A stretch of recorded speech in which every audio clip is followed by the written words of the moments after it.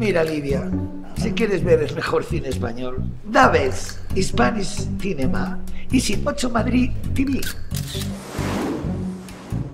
Pero Terele, por Dios, ¿por qué me hablas en inglés? Yo estoy refrescando mi inglés por si la próxima con Alex nos da un Oscar. Terele, que te dejas el Goya.